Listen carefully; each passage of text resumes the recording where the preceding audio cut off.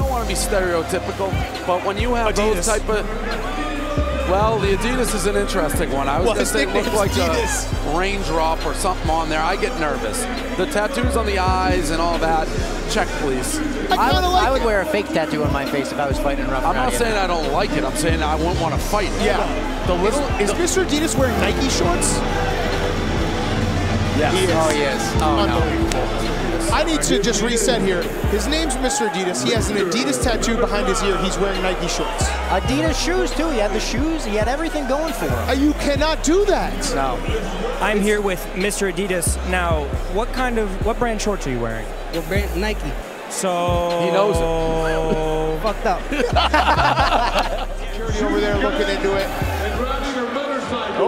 Oh, spider web on the ass. Oh, Walking yeah. in the spider You web. know what that signifies? If you're doing the thing, Yep. you get you caught in Get the caught in the web, Yeah. no doubt. I'm walking in the spider web. Yeah, Maybe so she a wants people to message and tell sling some more webs. Yeah. You know what I mean? Oh, Gwen Robbie. Stefani.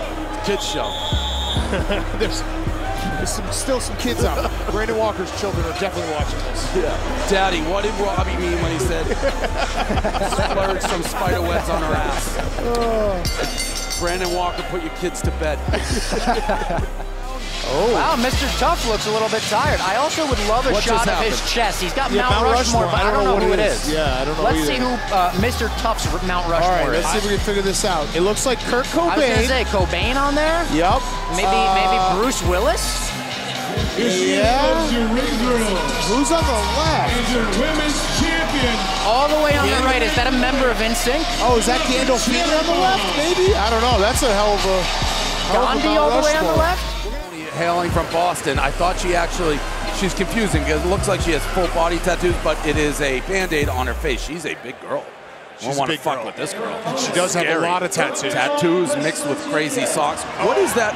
Who who is Oh. the girl who weore the, The- band-aid? Um, Uh, Lisa Left Eye Yeah, Lopez. yeah, yeah, yeah. Raindrops or something? Yes. Was that now? That's the one who burned down Andre Rison's Yeah, house? correct. Andre Bad News Rison. Here comes the college student on the offensive.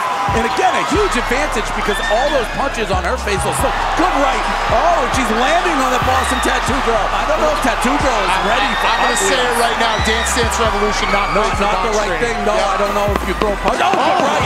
It's bad strategy. She looked at the ref and then she lost control of the round. And stand. That's it. Ah.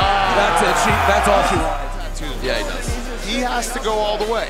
Let's see, Frankie. If Frankie get it. There you go. Look at that. See? Look at that. That's a weird placement for that nipple. It is very Like, strange. put that on the nose.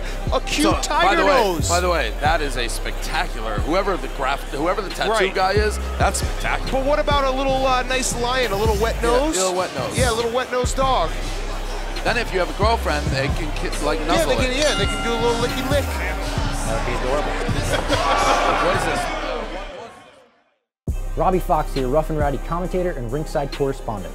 If you're new to the channel, make sure you subscribe, new videos every week, and go to watchrnr.com for the latest info on our upcoming events and how to find out how you could be the next fighter in the Rough and Rowdy ring.